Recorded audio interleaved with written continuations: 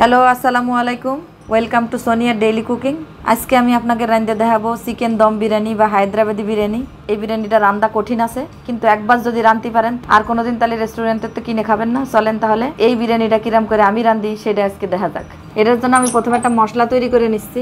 এই মশলাটা তৈরি করার জন্য আমি প্রথমে এখানে নিয়ে নিছি হাফ চা চামচ শাহি জিরা নিছি দশ বারোটা গোলমরিচ নিছি একটা কালো এলাচ নিছি হাফ চা চামচ জয়ত্রী নিছি দুইটা তারা মশলা, নিছি তিনটে শুকনো মরিচ, তারপরে নিছি দশ বারোটা লবঙ্গ, আট দশটা নিছি সবুজ এলাচ, একটা নিচে আছে বড় দারচিনি আর নিছি হাফসা চামচ জয়ফল। এই সব কাটারে আমি না বাইজে একটা গুঁড়ো মশলা বানায় নেব, যেটা আমার বিরিয়ানি মশলা হিসেবে কাজ করবে। এই মশলার বদলে আপনারা বিরিয়ানি মশলাও ব্যবহার করতে পারবেন। এই বিরিয়ানি রান্নার জন্য আমি এখানে দেড় কেজি পরিমাণ মুরগির গোস্ত নিয়েছি মুরগির গোস্তটারে আমি ছোটো ছোটো টুকরো করে কেটে নিছি, বেশি বড় বড় করিনি, যেন স্বাদ সব ভিতরে ঢোকে, সেই জন্য আমি ছোটো ছোটো টুকরো করে কেটে নিছি। এইবার এই গোস্তের মধ্যে আমি দিয়ে দিচ্ছি এই মশলার সবটুক, এক চা চামচ মশলা বাদ রেখে সবটুক গুঁড়ো মশলা আমি দিয়ে দিচ্ছি। এই যে দেখতেই পাচ্ছেন এক চা চামচের মতো রাখিছি বাদ বাকি সব দিয়ে দিছি। এইবার আমি এর মধ্যে দিচ্ছি হচ্ছে লবণ স্বাদ মতো। এক চিমটি দিয়ে দিচ্ছি হলুদ আর মরিচ দিয়ে, মরিচের গুঁড়া, শুকনো মরিচের গুঁড়া দিয়ে দিচ্ছি এক চা চামচ। আর দইনে আর জিরের গুঁড়ো দিয়ে দিচ্ছি এক টেবিল চামচ করে। এর মধ্যে আমি আদা রসুন দিয়ে দিচ্ছি এনে। রসুন দিছি আমি দুই টেবিল চামচ আর আদা দিছি এক টেবিল চামচ।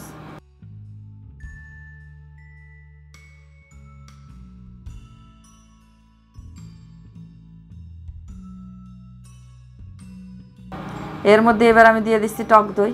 টক দই নিয়ে আধা কাপ টক দই আমি ভালো মতো ফেটাই নিছি। চামচ দিয়ে ভালো মতো ফেটাই নেবেন।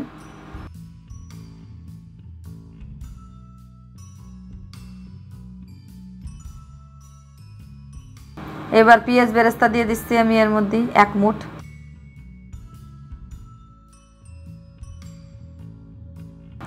এইবার এর মধ্যে আমি দিয়ে দিচ্ছি হচ্ছে লেবু। আনুমানিক দুই টেবিল চামচের মতো লেবু দিছি আমি, এনে আমি আপনাকে একখান চিপড়ানো দেখাচ্ছি। বাদ বাকি আমি অন্য টাইমে দিছি চিপড়ে দিয়ে এবারে ভালো মতো মাহাই নিচ্ছি। সব মশলার সাথে গোস্তটা মাহাই নিচ্ছি, যেন গোস্তর মধ্যে মশলার স্বাদটা যায়। এইবার আমি এর মধ্যে দিয়ে দিচ্ছি হচ্ছে এক মুঠ পরিমাণ ধনে পাতা আর এক মুঠ পরিমাণ পুদিনা পাতা আমি এখানে নিছি। নিছি চার পাঁচটা কাঁচা জাল। নিয়ে কাঁচা জালের আমি মধ্যে ফাড়া দিয়ে নিছি একটু। নিয়ে এর মধ্যে দিয়ে দিচ্ছি।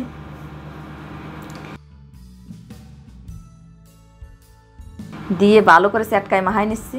দেখতেই পাচ্ছেন আপনারা আমি কিরম করে চ্যাটকাচ্ছি। আপনারা এত জোরে না পারেন, একটু আস্তে আস্তে চ্যাটকায়েন। আমি মেলা জোরে জোরে চ্যাটকালাম, আপনারা দেখতেই পাচ্ছেন এবারে ভালো করে হাত দিয়ে, ঠাসা দিয়ে দিয়ে রাখতেছি। চাপ দিয়ে দিয়ে ভালো করে পাতিলির সাথে একেবারে মিশিয়ে দেবেন। এইবার এর মধ্যে আমি দিয়ে দিচ্ছি হচ্ছে বেরেস্তা, পেঁয়াজের বেরেস্তা ভাজা তেল আধা কাপ পরিমাণ দিচ্ছি। বেরেস্তা ভাজা তেল দিলে একটু খাতি স্বাদ ভালো হয়, গন্ধটা ভালো আসে। দিয়ে আবার একটু হাত দিয়ে চাপ দিয়ে দিয়ে মিশিয়ে দিচ্ছি, ঠেসে ঠেসে দেবেন একটু। দিয়ে এটারে মেরিনেট করতে রেখে দেবো দুই ঘণ্টার জন্য। না পারলে এক ঘণ্টা রাখলেই চলবে। এইবার আমরা ভাত রাঁধবো। ভাত রান্নার জন্য আমি এখানে পর্যাপ্ত পরিমাণ পানি একটা পাতিলের মধ্যে নিয়ে নিছি। নিয়ে এর মধ্যে দিয়ে দিলাম হাফ চা চামচ শাহি জিরা, দিয়ে দিচ্ছি এক চা চামচ পরিমাণ হচ্ছে পেঁয়াজের বেরেস্তা ভাজা তেল নর্মাল তেল দিলেও হবে। আর দিয়ে দিচ্ছি একটু বেশি পরিমাণে লবণ, যেন ভাতটা একটু যদি পানি গেলে ফেলে তাহলে ভাত যেন একটু লবণটা যেন ভাতে থাকে।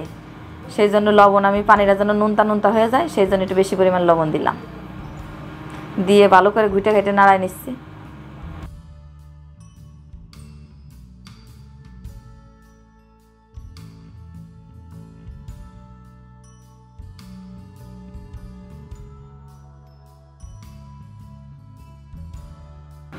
পানিটা দর্শক দেখতেই পাচ্ছেন ভালো মতো ফুটে গেছে, ফুটতেছে। এইবার এর মধ্যে আমি দিয়ে দিচ্ছি বাসমতি চাল এক কেজিতে কিছুটা চাল বাকি রেখে বাদ বাকি সব আমি দিয়ে দিচ্ছি এর মধ্যে। চালটারে আমি ভালো মতো ধুয়ে আধা ঘণ্টা ভিজিয়ে রাখছিলাম।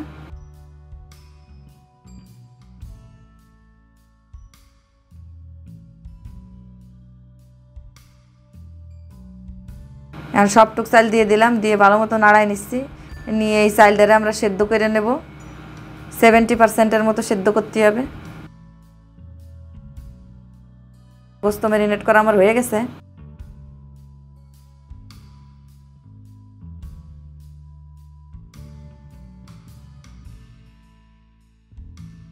এইবার ম্যারিনেট করা গোস্তটার পাশে রাখবেন আর চুলোতে ভাত উঠবেন আর ঝপা ঝপ দিয়ে ফেলবেন গোস্তর মধ্যে। দেখতেই পাচ্ছেন আমি কিরাম করে দিচ্ছি আর ভাতগুলো কিরাম লম্বা লম্বা হয়েছে চুলোতে উঠাবেন, পানি ঝরাবেন আর দিয়ে দেবেন। পানি সহ দেবেন না, তাহলে গোস্ত মধ্যে পানি থেকে যাবে না। সব দেওয়া হয়ে গেছে।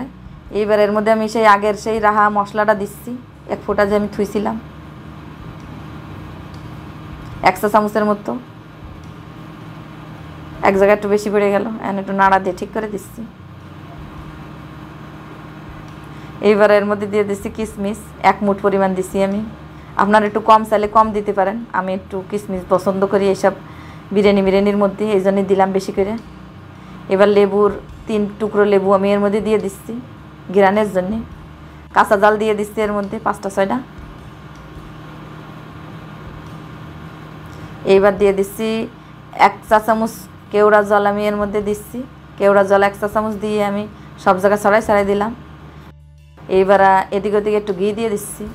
এই কোনায় একটু দিচ্ছি, ও কোনায় একটু দিচ্ছি। সব কোনায় একটু একটু করে গিয়ে দিয়ে দিচ্ছি।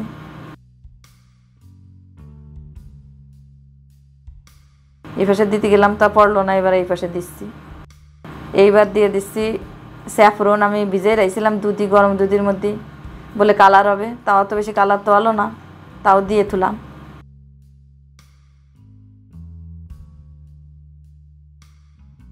এবার এর মধ্যে আমি দিয়ে দিচ্ছি এক টেবিল চামচ পরিমাণে চিনি। একটু মিষ্টি মিষ্টি লাগলে একটু ভালো লাগে বিরিয়ানিটা। এইবার আমি এর মধ্যে একটা ডাকনির মধ্যে লাগাই নিছি আটা আটা খালি পানি দিয়ে সে নিছি। সেই না ডাকনির মধ্যে লাগাই নিছি যেন আমি সিল মারতে পারি পাতিলির গায়ে। এনে লাগাই দিয়ে আমার মনে হয়েছে যে আমি তো একটা ভুল করে ফেলাইছি, আমি একটা জিনিস দিইনি। এইবারে তাহলে আমার আবার খুলতে হবে। খুইলে আমি এর মধ্যে আবার দিয়ে দেবো পেঁয়াজ বেরেস্তা, দেখতেই পাচ্ছেন আপনারা। ভুল করে ফেলাইছি। সেই জন্য আবার একটু পেঁয়াজের বেরেস্তা দিয়ে দিলাম উপর দিয়ে। পেঁয়াজের বেরেস্তা দিলে একটু ভালো গিরান আসে। খাতিও ভালো লাগে। এইবার আবার সেই সিল মারা মেরে দিলাম আমি। দিয়ে এইবার চারিদিকে আটকাই দেবো আবার। এইবার আর খুলবো না। চুলায় আমি এই চুলায় এই পাশে রাখি আমি পাঁচ মিনিট হাই হিটে জাল দিছি। এইবার একটা তাওয়া বসাই দিচ্ছি। তাওয়া বসাই দিয়ে আমি আবার এর মধ্যে এবার ঢিমি করে রাখব। যেহেতু এটা দম বিরিয়ানি, সেহেতু এটা দমেই হবে। দেখতেই পাচ্ছেন আমার বিরিয়ানি হয়ে গেছে। চল্লিশ মিনিটের মতো রাখছি চুলাই দমে। এইবার একটা চামচ দিয়ে আমি একটু ভিতরে চেক করে নেব যে আদে হয়েছে কি না দেখতেই পাচ্ছেন হয়ে গেছে। চামচটা একবারে পরিষ্কার বার হয়েছে এইবার আমি একটু জাফরান নিছি, জাফরান নিয়ে তার মধ্যে কোনাতে একটু ভাত উঠে নিচ্ছি উঠে নিয়ে জাফরানের সাথে একটু মিলিয়ে মিলিয়ে দিচ্ছি, যেন একটু রং করে দেই, ভাতের মধ্যে দেখতে একটু ভালো লাগবে সেই জন্যে। এরম করে দিয়ে দেখেন নর্মাল পানিতে দুধের সাথে গুলাই দেওয়া হচ্ছে, এরম করলে রংটা দেখা যায় ভালো। তাই আমি এরম করে দিলাম। একটু ভাতের সাথে মিলাই টিলাই নিচ্ছি। দেখতেই পাচ্ছেন আমার হায়দ্রাবাদি বিরিয়ানি তৈরি হয়ে গেছে। এবার সবাই মিলে খাওয়ার পালা।